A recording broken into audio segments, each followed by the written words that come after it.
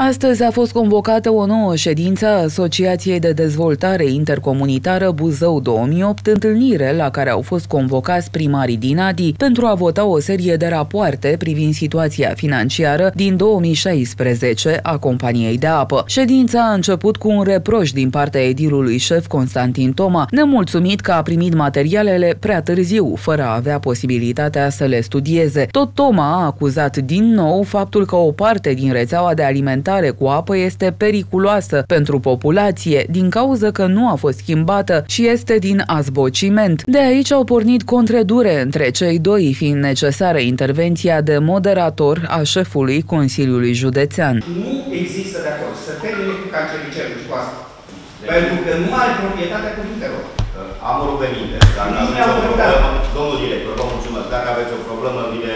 Nu am nicio problemă. Vă mulțumesc.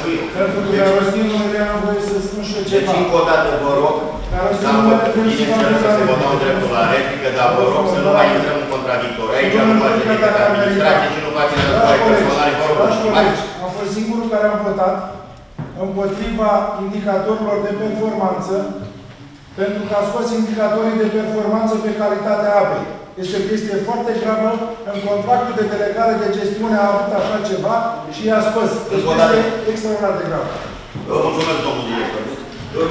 Am luat, domnul director, am luat, Sunt, am- domnule, vă domnule, rog, vreți să vă citesc eu? vă Sunt. rog să aveți timp, vă duceți la primărie, Nu, dar nu vă pot să duceți, domnul faci- director, haideți să trecem la ordine. Dar nu de zi, poți vă să rog faci frumos. public lucruri care Încă o dată, Nici materiale sunt că le-a făcut săptămâna trecută le-am. nu mă poate Mințim să așa cum evacuez se sala, face. vă rog frumos, gata, cine este pe rog?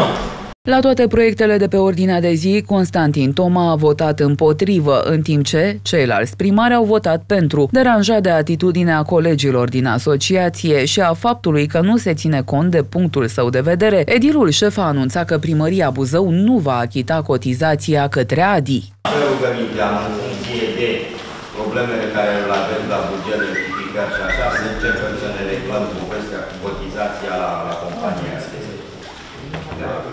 Dacă nu mai sunt probleme, vă mulțumesc. Anunț în numele, Sorin, anunț în numele primăriei Buzău că nu voi plăti niciun leu cotizație, atât timp cât primăria Buzău nu este respectată niciun fel, vă rog să mă dați în judecată. Deci nu o să spuneți de la primăria Buzău că să Nu e o rezolvare. Și după ședință, primarul Toma a reafirmat că va refuza achitarea cotizației în contul Asociației de Dezvoltare Intercomunitară. Deci nu vom mai plăti nicio cotizație la ADI. Această organizație este împotriva cetățenilor municipiului Buzău. Și nu pot să accept acest lucru. Despre ce sumă e vorba și cum se Nu contează. 2 miliarde și ceva. Oricum plătim, aici votul este egal și plătim la nivelul populației municipiului Buzău. Adică ca trei sferturi din, din cotizația de funcționare a acestui ADI este plătit de, de cetățenii municipiului Buzău. Ați votat împotriva la toate. Deci este normal să, sunt lucruri ilegale aici. Nimeni nu vrea să vadă treaba asta. Deci funcționează niște parametri care nu pot fi acceptabili pentru, pentru o societate modernă. Nu ascultă de nimeni. La rândul său, directorul companiei de apă, Ionel Tescaru, a susținut că atitudinea primarului a fost nejustificată, declarând că șeful Palatului Comunal a avut destul timp la dispoziție pentru a consulta proiectele de pe ordinea de zi. Parcă mi-aduc aminte că domnul primar a cerut un vot pe toate pe de la Consiliul Local să voteze împotrivă pe materiale care sunt de la compania de apă. Păi atunci aveau premoniții că îi vin ieri materiale? Potrivit bugetului ADI pentru anul 2017, primăria Buzău are de contribuit cu o cotizație de aproape 180.000 de lei.